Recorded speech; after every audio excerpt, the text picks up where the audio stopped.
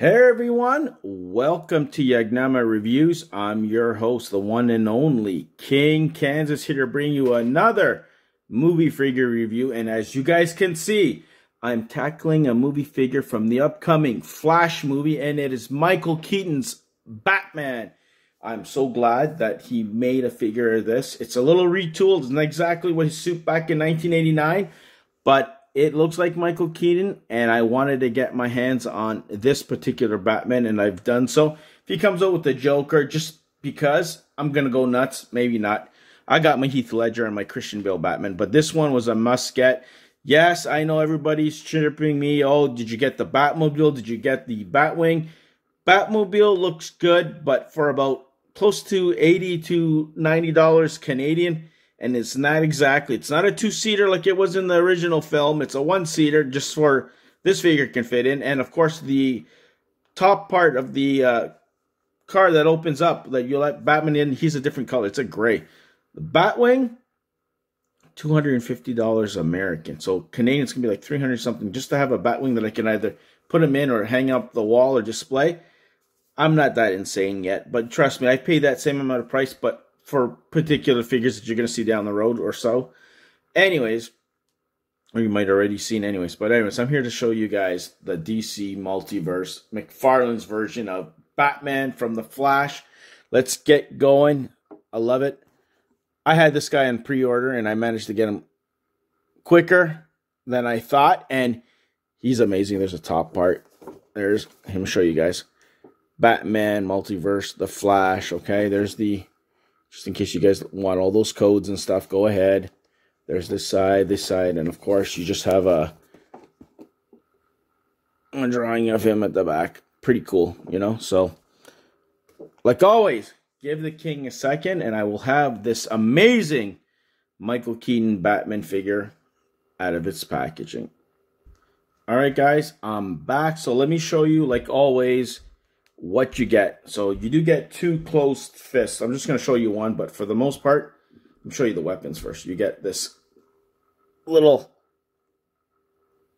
grappling gun, which I'm not going to use. You also just get this little batarang, which I'm kind of probably going to put that in one of his hands because I have my Christian Bale already with the, how do you call it? Grappling gun, and this is, uh, like I said, one closed fist. You could see. It's not a big deal, as you guys can see. It's just his fist closed, guys. All right? I'm going to put that on his right hand. And, of course, you get the trading card, which is that picture on the back, and the standard McFarlane disc that you definitely need. This Batman. And his cape is material, and I am glad he looks totally badass, okay? I'm going to tell you that right now. He looks good. Much better than I thought in person.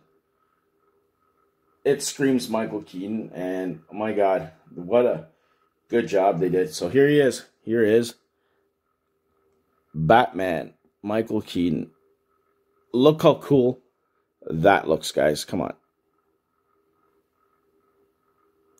The detail Holy crap, okay? Just gotta watch it. Just got a piece of the box there. But the boots, look at that. It's like a greenish varnish. And then, of course, you have his spikes, okay, on his arms. And the back detail, look. I'm just gonna throw this over so you guys can actually see the back. He didn't chintz on it, but you could see. Just your standard. Here's a cape. Okay. The way the cowl looks at the back. It's pretty cool. Okay, look at that. I don't know why they can't do a Ben Affleck justice, you know, but yeah, man, look at that. The logo, belt's not gold, it's black, as you guys can see, and of course it has the logo. It's like a darker orange than what you guys see on camera.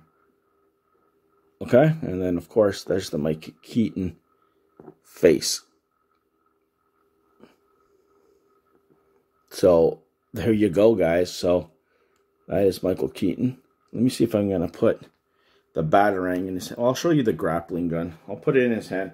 which I don't think it's going to be good to tell you that. I don't know. I won't do it. It looks kind of stupid, you know, because it doesn't look like he's holding it right.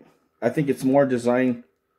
Um, yeah, it, it won't hold it properly, guys. And his hand came off, so yeah, that's not uh, fun. So let's say that now. Let's put the grappling, the uh, the batarang. I think that's what's gonna be most likely what I'm gonna end up him holding. See, you guys can see it. You know, the Batman. You have to hold it right, stoop, like this. So it's gonna go in his hand. His hands come off easily, so you got to be careful, guys. I'm warning you. So that's how it's going to be holding if I want. He's going to bend his arm and obviously throw it, right? But I don't know. I just don't like the looseness of the hands. I don't know. It's very loose, you know? It feels like he's going to come off in certain pieces, but I don't know. It looks pretty cool. I'm not like totally holy crap, you know, like over the top on this character or on this figure.